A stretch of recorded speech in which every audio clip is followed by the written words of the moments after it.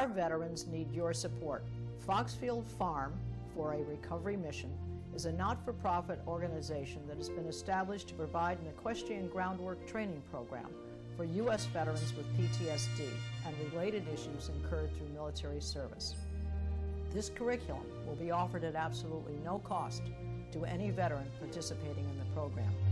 This foundation will also incorporate the repurposing of rescue horses and locating new responsible owners. The synergy of the work invested by the veterans to aid the recovery of these horses is equitably therapeutic. Please go to our website to be a supporter, www.foxfieldrecoverymission.org. Thank you.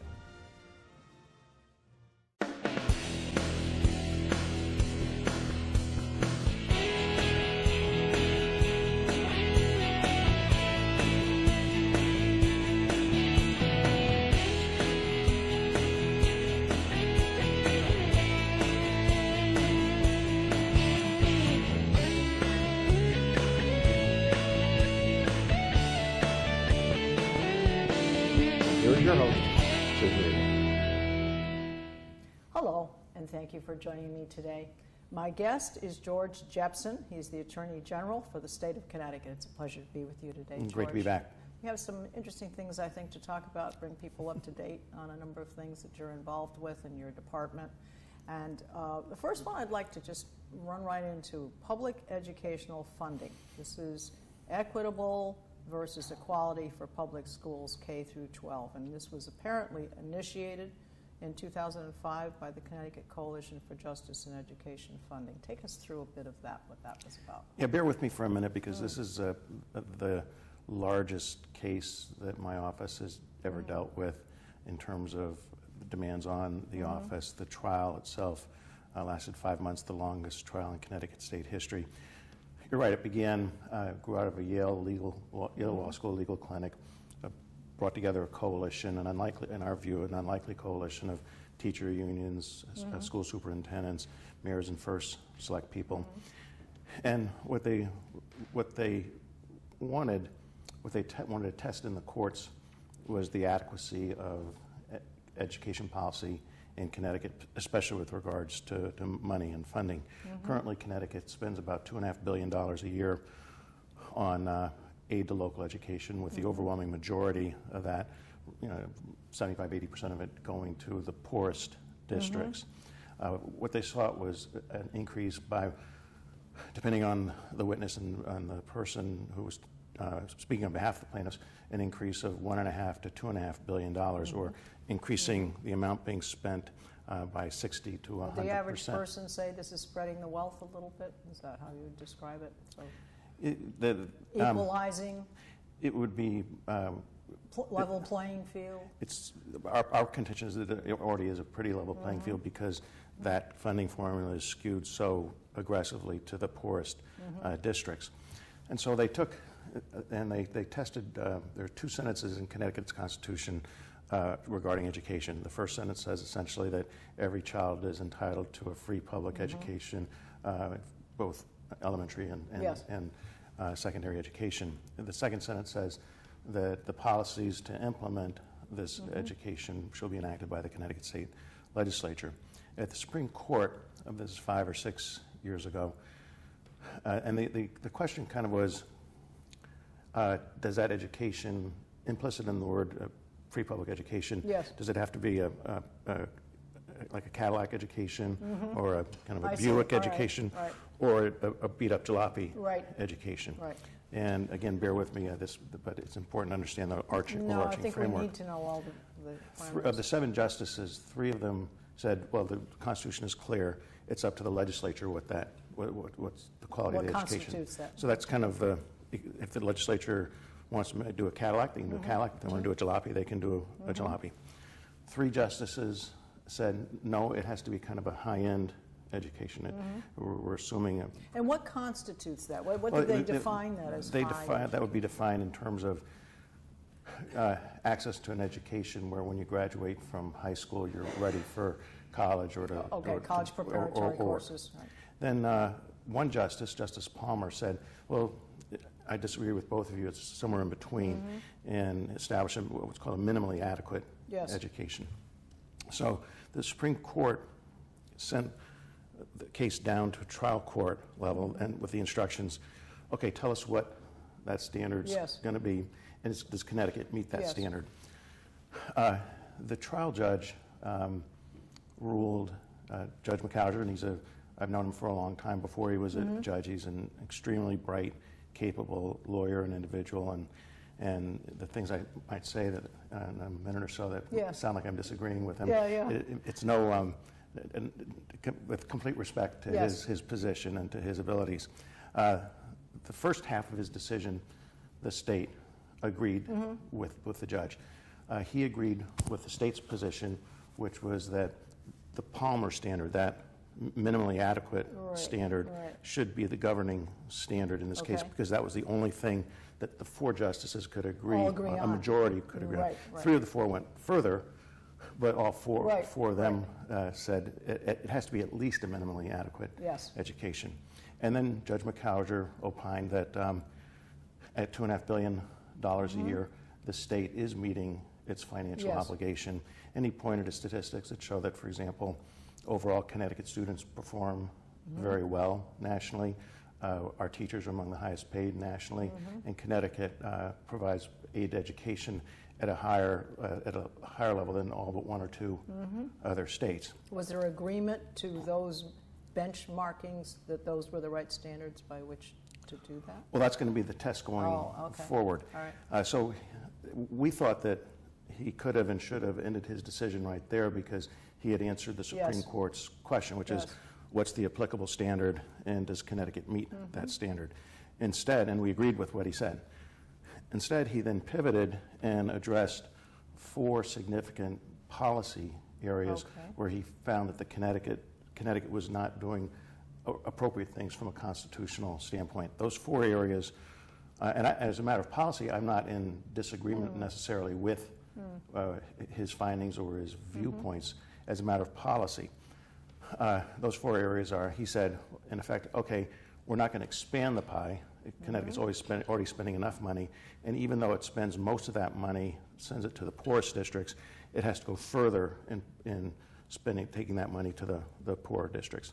Secondly, he said that um, he questioned what we call social promotion policies in the state. Uh, that's where a, third grader is advanced to fourth grade, even though he's, he or she's not reading at a third Not grade standard. Or you get a diploma after 12th grade when you don't really have, haven't met the criteria for what a 12th grader should So everybody gets a do. trophy, Right. no matter what. Third, uh, he, he opined that because, in his judgment, many special ed students really don't benefit Mm-hmm. from a, the public education uh, because of the huge expense involved in having Yes. them in schools, that, that there are times and situations Mm-hmm. where uh, the school, the school system no longer Mm-hmm. has to place, there, there, there are places that would be more appropriate and better uh, Yes. for, for those spe- certain for special ed needs. kids. Uh, And then finally, he said that um, the teacher evaluation system is not linked to productive I was outcomes. going to ask that question, And, yes. and, um, and that there needed to be a clearer connection Mm-hmm. between how teachers are evaluated and how they are promoted or or Mm-hmm. get raises. Did, the- did Common Core come in here any, in the mix? Im- Implicit in that is, is some Common Core all right. discussion. So, it- four policy areas where you can agree with them 100% or Mm-hmm. 50% or 20%. Uh, In our judgment, and again, I'm not saying that reasonable people can't differ over Sure. what those policy Sure. discussions, how they ought to end up. But in, in the view of our office, we believe that he overreached his constitutional Mm-hmm. authority and that the policymaking function is lodged with the legislature and the implementation of those policies. So he was going further than interpretation, he was changing. Right, and, and, um, and that education policies should be made by the legislative body Mm-hmm. and implemented by the, the executive branch, and not should be lodged in the hands of a single unelected judge. And, and that's the position we are taking on appeal. Interestingly, even though the, the plaintiffs um, lost on what they were seeking, which is a huge increase in state aid to education and a, this much higher standard. Uh, they also disagree with, depending on which part of the coalition you were, you represent uh, with, with Judge Moukawsher's findings. For example, the teacher unions are very unhappy with his, his um, aggressively trying to link Yes, teacher yes, evaluations with, with, with I can outcomes understand that. superintendents and mayors and first selectmen uh, view um, the social promotion policies sought by Judge Moukawsher as an unfunded local mandate because, in effect, if you have to hold more kids back, it means that if it's for every 100 kids in your, your system, you're now going to have on an annual basis 103, 5, 7, Sure. 9 because of the Sure. kids that are, that are held, held back. Uh, a lot of folks um, are very unhappy uh, with, with um, his decision on the disabled children. Uh, and, um, and then there's a lot of uh, dissension on whether they should be included in the public schools or separated. from Correct, it, yes. correct. And then, then um, finally, uh, as I mentioned, right now with the existing pie, a- a very high percentage, 75 or 80% of the money goes, for example, um, the poorest districts get eight times as much money per capita than the most affluent. Okay, so let me just ask you a pointed question. You give them much more money, and what does the much more money go for? Additional teachers, higher paid teachers, expanded school space? Why is there need for more money? Well, it's the position, our position, Right. you'd have to ask the proponents of this, that question. We put on uh, expert witness that Mm-hmm. was not contradicted, not challenged by the plaintiffs, uh, who said that spending more money uh, is not going to be helpful. Mm. That all the studies show that, that the issue isn't spending more money. Connecticut already spends enough Mm-hmm. money. Uh, The issue is inputs. When you have children showing up at school who have not been read to by their parents, their Sure. vocabulary Maybe is a haven't even a had half- breakfast. haven't had breakfast. uh, that um, kids that when they're 15 are showing up drunk. Uh, w- kids who have never seen a computer. Uh, that that the issue is is mostly poverty, and the inputs that you know, the, the restrictions that uh, you know uh, that, that happen on. Um, the upbringing when kids are Of poor, course, yeah, and, the and culture so they came up in. so our position is that spending the more money is, is um, not going to be Mm-hmm. helpful, but be enormously expensive for, for taxpayers. So that's where we are. We, um, we've appealed the second half of Moukawsher's decision, not because he's necessarily wrong on raising these issues, Mm. It's the but that- nuances of the discussion. but that he's, um, he's uh, greatly overstepped his constitutional boundaries. Yes, yes. Now, when, is there an anticipation for a timeline on? Yeah, we, we now have a briefing schedule where each side uh, submits a brief saying that, um, you know, their view of the law. Then there'll be an opportunity for reply briefs, and then their oral, oral argument will be in May of 2017. So I anticipate a decision uh, sometime in the some late summer or fall of 2017. Well, I think the thing is too, that taxpayers and people in general looking at a case such as this, time is of the essence, because the more time that goes by, the more children that are lost in the system, as it were, depending on whatever your viewpoint is.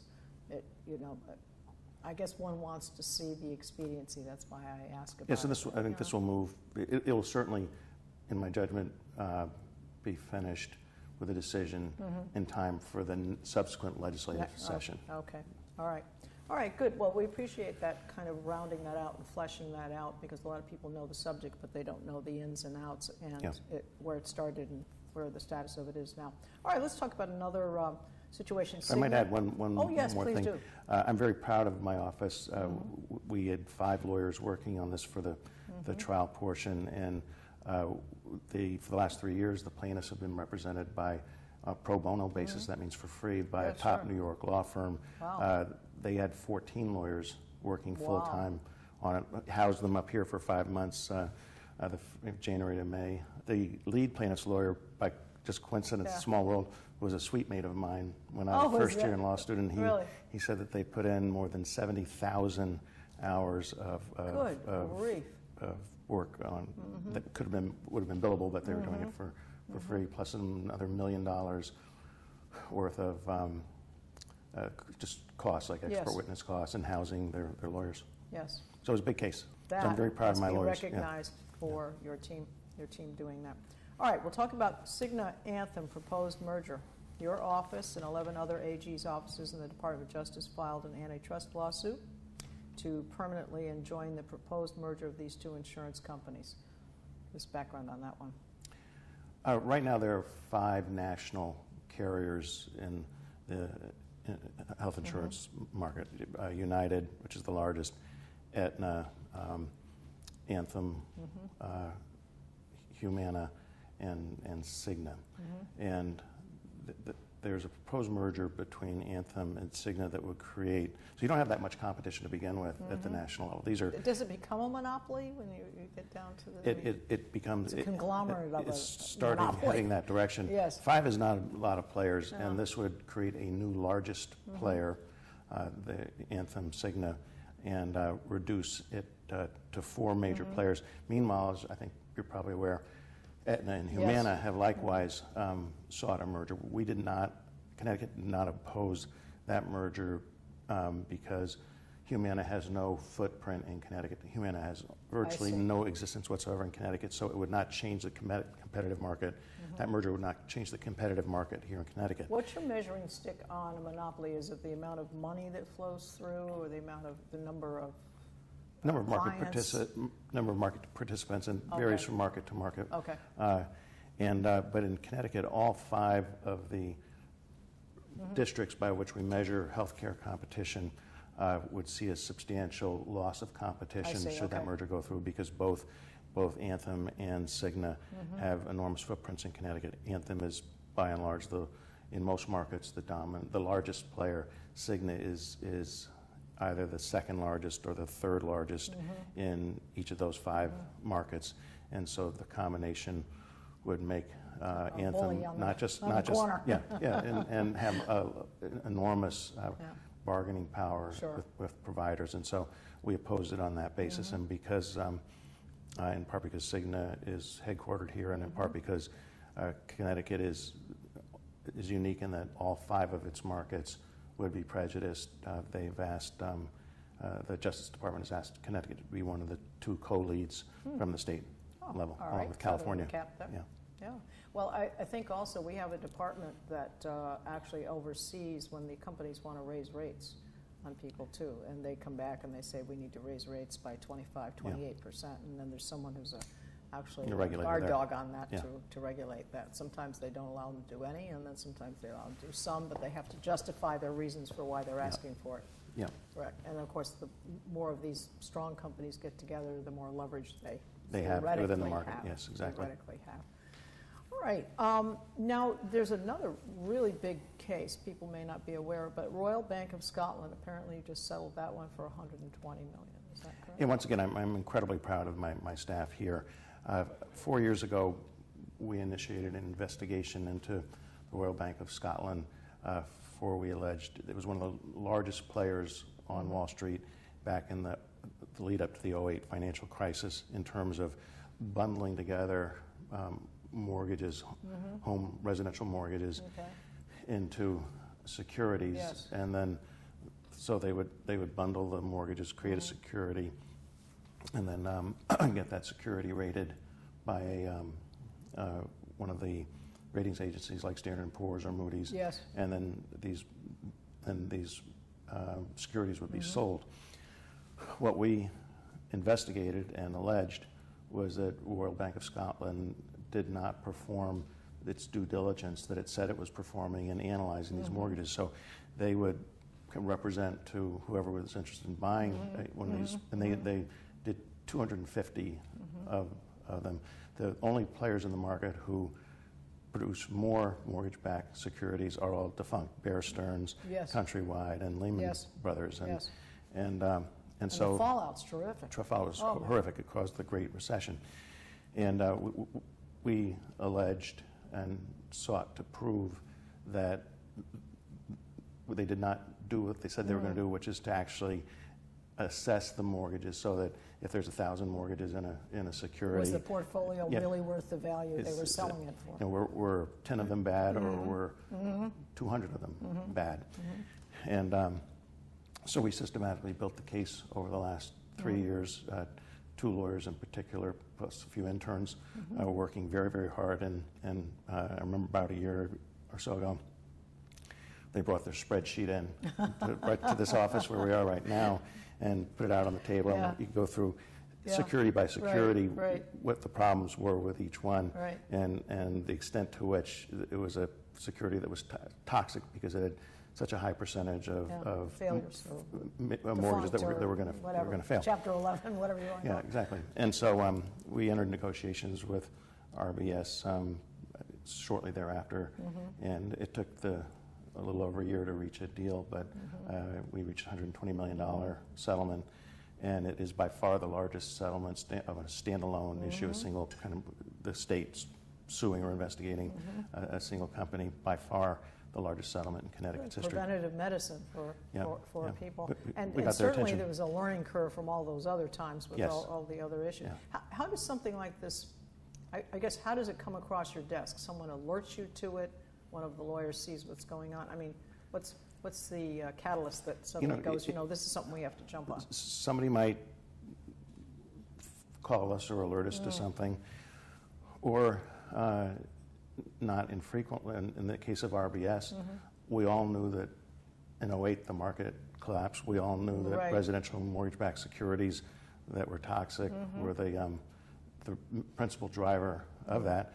It's not too hard to look at the players and figure out where, Right, to, right. where to go and examine Right, it. On a similar basis, uh, you know, Connecticut investigated um, Standard & Poor's for mislabeling those Mm-hmm. same mortgage-backed securities as AAA when in fact they were junk.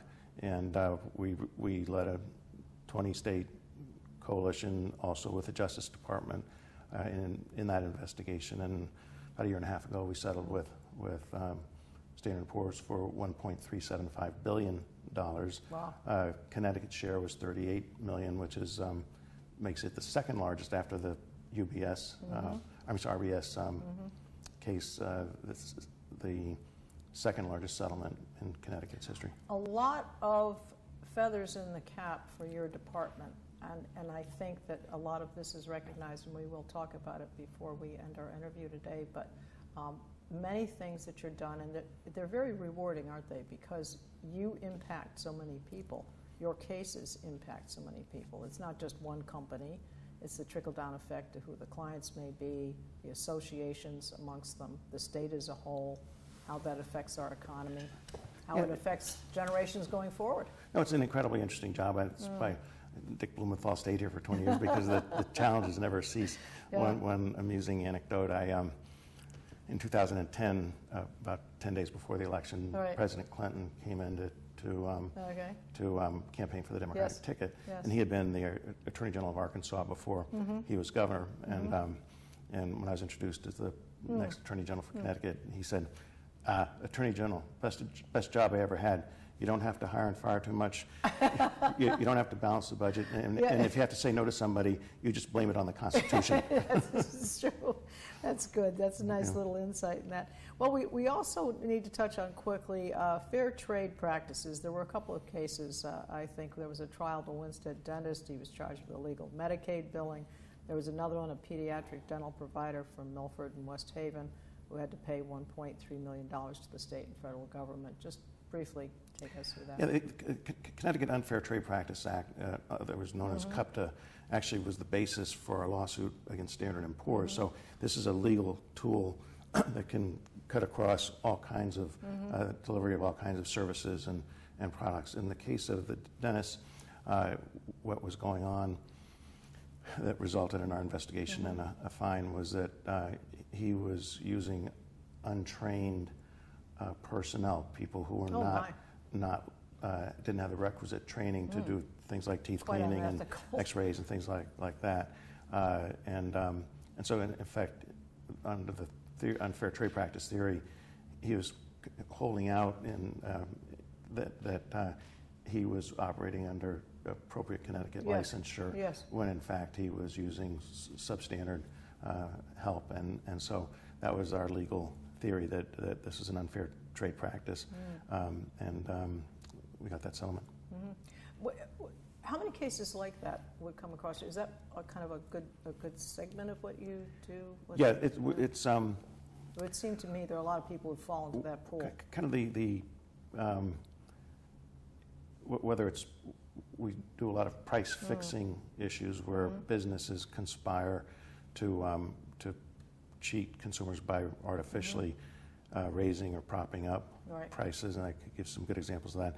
Where the Unfair Trade Practices Mm-hmm. Act, where, where again, if, if, you know, if, if you sell T-shirts and you Hmm. say uh, these T-shirts are 100% cotton when in fact they're 50% polyester, Ah. doesn't mean uh, it's a bad T-shirt if it's 50% polyester, but you should You're not be allowed to profit from uh, see. a misrepresentation, a material misrepresentation. And so you, you can be forced to disgorge all the profits that you've Mm-hmm. made off of that, that, um, that representation that proves to Mm-hmm. be false. That's the theory behind the Unfair Trade Practices Act. And then we have what's called the False Claims Act, which is where medical providers, if this is generally for Mm-hmm. Medicaid, bill the government, uh, bill, bill For people who don't For- even exist, maybe? could be people who don't exist. Right. It could be, we had one guy who was, if you total up the number of uh, appointments in the day, he was, he was practicing medicine more than 24 hours Oh, a my. day. Most frequently, it's a little bit more subtle, which is uh, you, somebody comes in and you Mm-hmm. examine them and you prescribe or, or do some one procedure, but instead of stopping there, you bill, you upgrade the Mm-hmm. I gotcha. Mm-hmm. procedure to a more expensive one you did not provide, or you include procedures and that you didn't, Didn't provide do. at all. And so that's called a false claims. That the False Claims Act Mm-hmm. allows us to go after whether it's psychiatrists or dentists or, or doctors, uh, but all in the context of, of uh, defrauding the government. Mhm. This defraud, is this coming from, is this stemming from uh, the fact that? Greed. uh, Yes, well, there's greed, and they feel that they work on minimal costs, and so they've got to pad the bill somehow, somewhere. Know, And, and they talk about Yeah. cash flow, and they don't get the money soon enough, and so forth. Yeah. So have you seen an, actually an escalation in, in those issues? Well, um, our, our powers were expanded two years ago, and and uh, and we've also been trying to be more systematic, uh, where, and so I'm not saying that it's more frequently being done, but we are being more aggressive in, Ab- in investigating.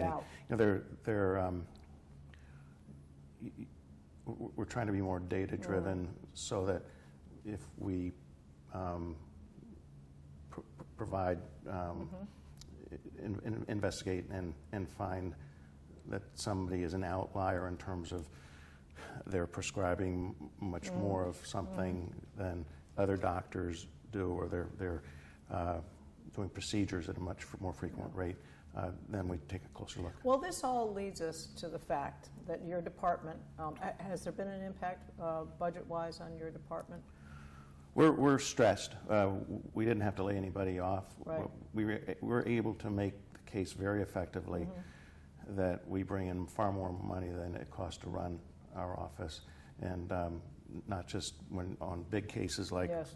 Yes. RBS or, or Standard Poor's, Yes. but if the state gets sued, for example, if that, that education funding case, if we had had to use outside Mm-hmm. counsel, the legal fees over the last 11 years would have been in the tens of millions of, of dollars. Well, this, this leads us to one big thing. You were just, uh, uh, rec- we need to recognize the fact that you have been formally elected the uh, president of the National Association of Attorneys General in June 2016, so we have to congratulate Well, you thank on you. that. Obviously, the fine team that you've built, the lawyers that you said, the bipartisan uh, support that you get, working with other states, that obviously has led you to that leadership, and we must recognize that. I'm, I'm thrilled and I'm proud that state attorneys general work very well on a bipartisan basis on these national issues.